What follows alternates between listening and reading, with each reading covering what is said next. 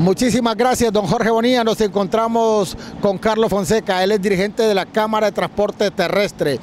Pues aquí está don Carlos porque a los rastreros, a los que conducen los productos de norte a sur y de este a oeste, se les ha calificado como algunos como asesinos de la carretera. Y aquí está estigmatizado y se están dando accidentes. Pero explíquenos qué es lo que está pasando, don Carlos. Muchas gracias, Tony y al auditorio de HCH que nos ve en este momento. Bueno, sí, eh, recuerde que todas las personas que estamos y andamos en carretera, sea en vehículos particulares o tanto los compañeros que caminan en camiones de carga, bueno, estamos expuestos a que sucedan este tipo de situaciones, ¿verdad? Y los accidentes están a la orden del día. Y obviamente, pues dentro de todas esas cosas, pues eh, hay varios factores que inciden para que estos accidentes se den.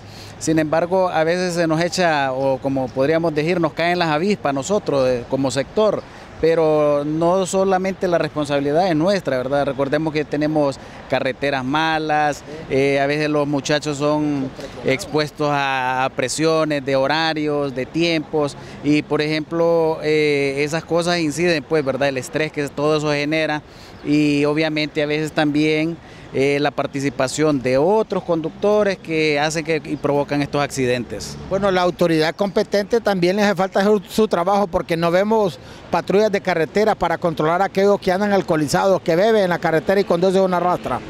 Es correcto, Tony. Mire, ve, eh, no hay observancia, no hay presencia de la autoridad competente, tanto de tránsito como del Instituto Hondureño de Transporte Terrestre, con su inspectoría, tiene que estar ellos en, chequeos constantes. Imagine, por ejemplo, el sobrepeso que a veces caminamos y nadie lo controla, ¿verdad?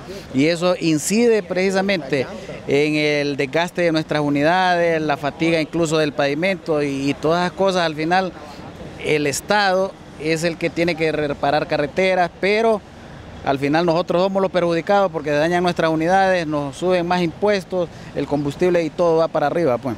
Una situación difícil, sin embargo en asamblea ustedes van a tocar estos temas. El día de hoy precisamente eh, tenemos reunión con varios compañeros, muchos compañeros unitarios que aún no están organizados y es nuestro interés poder que, que, sean parte del gremio, ¿verdad? El día de hoy en la ciudad de Ciguatepeque. Bueno, muchísimas gracias eh, Carlos Fonseca y como ustedes saben, imaginen todo lo que se conjuga, la presión a que son los sometidos los muchachos que conducen rastras, también uno que otro que se echa sus tragos, malos conductores que se atraviesan, malas carreteras, la falta de la presencia de las autoridades para llevar un control, tantas cosas que se dan y por eso pues se están suscitando varios accidentes y cuando la rastra pues está involucrada suceden situaciones bien incómodas. Richard Mejía en la parte técnica también nos acompaña Daniel Espinosa con este reporte, don Jorge. Pasamos al estudio principal de HCH Televisión Digital.